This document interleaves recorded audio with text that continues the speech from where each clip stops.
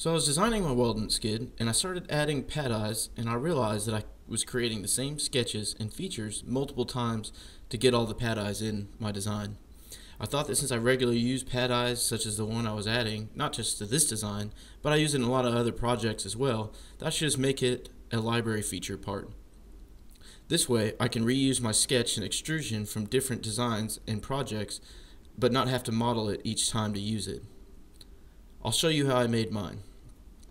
So here's the design that I want to add the pad eye library feature to. I need to add them to the top of this face, but also reference the side face so that I can change the angle from design to design and make it customizable for each design that I'm in. So I'll show you how to create the library feature.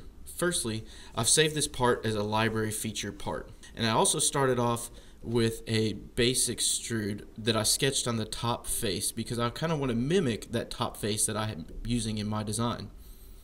I then want to add two reference planes using the side faces so that I can reference them later as well in my designs to relocate the pad eye with respect to the angle. I want to sketch on the top face and give two dimensions that I can then modify and customize from design to design Using that sketch, I'll create one last reference plane using the sketch line and the top plane.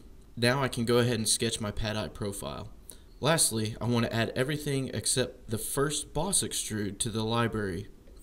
So I'll select them all and then right click and add them to my library. This will tell the library part which items to use when I bring it into other designs. And now that I have the pad eye, I can use on many designs without having to sketch it over and over and save lots of times in my design process.